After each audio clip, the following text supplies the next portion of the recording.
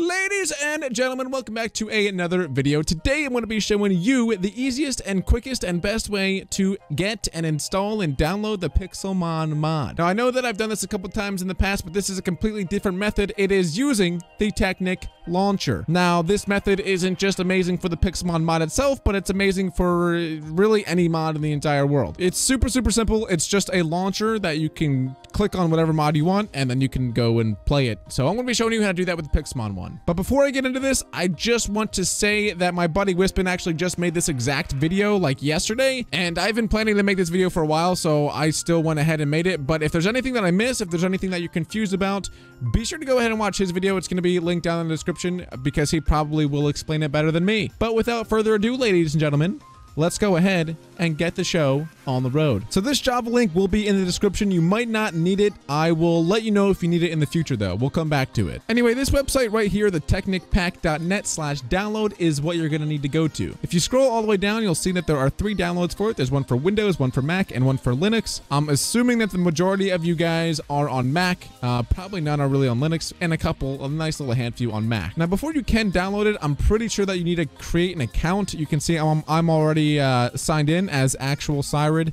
because Sirud was taken, Sirud 01 was taken, Sirud 69 was taken, Sirud 420 was taken, uh, spelled weird was taken, everything was taken. So then I had to make it actual Sirud so that people believed that it was me. But anyway, after you do create account, it's I mean, it's really simple. You just click register, just like any other website in the world. I'm not going to show you how to register. Um, then you sign into your account, which again, I'm not going to show you how to do. It's super simple. Uh, all you gotta do is click on whichever download you want. For me, I'm on Windows, so I'm gonna go ahead and click on Windows. Then after you do that, you will be greeted with either keep or discard. Obviously, you want to keep it. And then, uh, you then it goes to this thing. You're not gonna have the 2.exe here. The reason I do is because it's the third time that I'm downloading this because I'm a big fat goof and I, I, well, I failed making this video twice, so this is the third time I'm doing it. But after you do that, you want to click on the Technic launcher. For you guys, okay, it's it's probably not going to pop up like this. This is the actual Technic launcher itself. For you guys, it'll probably ask to install. All you gotta do is click next, click next and install, or depending on whatever it asks you to do, just click on next. I promise you, you're, you're good to go. But after you do go ahead and install the program, if it doesn't run right away, all you gotta do is go to your search bar or find it in your downloads or however you find your programs and just type in Technic. And then boom, you'll see the Technic launcher pops up. Boom, you click it Easy peasy lemon squeezy. Okay, so when you're in the Technic launcher, you'll want to log in with your Minecraft information. Not necessarily what you used for the actual Technic website. For this, you'll want to log in with whatever account is linked to your Minecraft account. So for me, it says the Sirud because that's my in-game name. It's got my skin here, so obviously that is me. And now the second thing that you'll want to do is go to your launcher options, go to Java settings, and make sure that you have this 64-bit installed. Now, if you don't have the 64-bit, which is what I was talking about earlier with the Java, you'll want to go ahead and download that Java version. So if you go to the website, uh, again, this is going to be linked in the description, of course. You're going to want to go down to the Windows Offline 64-bit. Make sure you just you just click it, and then boom, it's going to pop up here. You click on this and then I don't know if it's going to make me run it again or I don't know. A lot of people might not even need to do this, so this might be irrelevant for the majority of people. Anyway, after you run it, it's going to pop up with like install and stuff, and it might even ask you to replace your current version. Hit yes, you do want to replace it. Yeah, see, right now it's asking me if I want to install it and replace what I currently have.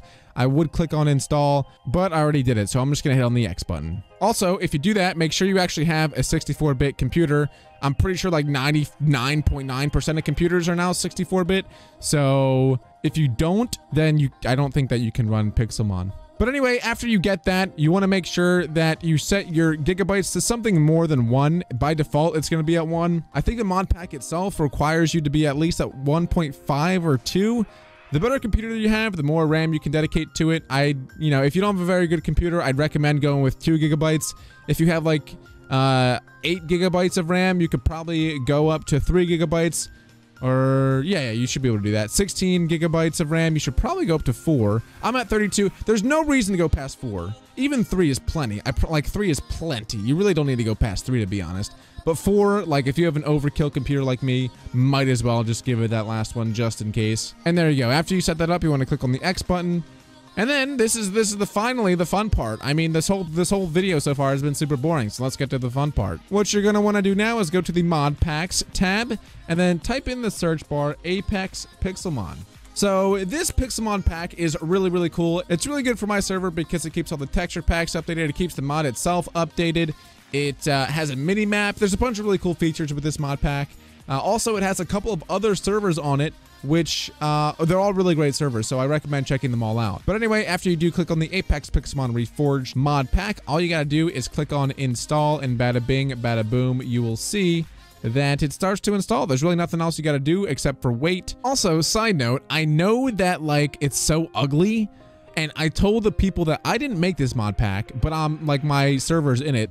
And, and the people that made this, I mean, come, like, this so ugly, dude. Even the background, it's so ugly. And I recognize that. So what I'm going to do is, is make my own art for it and, and apply it to this to make it a lot cooler instead of having it this ugly. I'm really sorry for it being this ugly.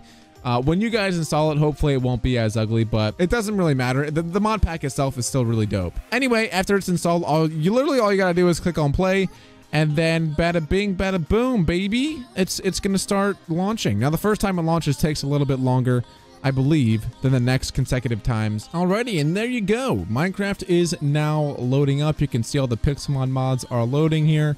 We got the 4 gigabytes of RAM, which is also 4096 megabytes. Anyway, the first time that you do load up, as you can hear the music uh, come in, uh, all of your settings are going to be reset. Unfortunately, if this is your first time loading with the Technic Pack, it's I mean, you just got to reset all your settings. But after you reset your settings for one time, obviously it's going to save them for every other time that you log in. But now if you go to multiplayer, you will be greeted with four amazing servers, or maybe three, because I don't know what Pokepalooza is and there's no players online. So I, I don't know what this is. But then, of course, we got the greatest Pokemon server of all time, Pokesmash. This is my server. I highly recommend 10 out of 10. This is what we're going to be joining in a second here. But also, shout out to Happy Cloud and the Oblique server. Happy Cloud, Mickey Ray, I love you, baby.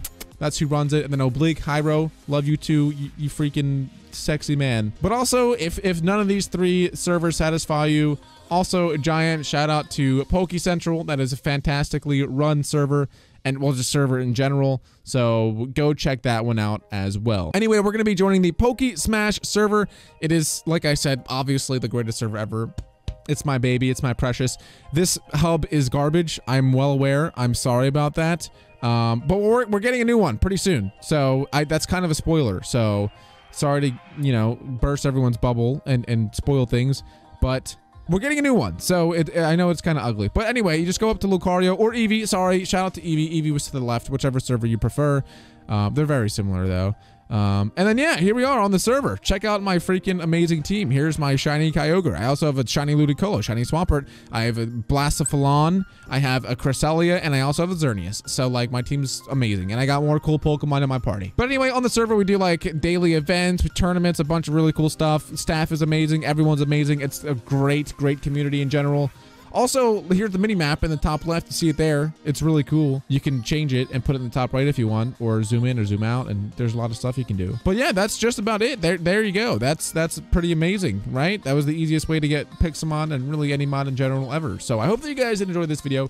If you did find it helpful, be sure to slap a like. If you did not find it helpful, comment down below what you're struggling with. And if I or no one else does help you, be sure to go ahead and watch Wispen's video on this tutorial as well because he probably explained it better than I did. But that is going to be it. Thank you all so much for hanging out. I do appreciate it. And I will, uh, I'll, I'll catch you all in the next one. See you guys.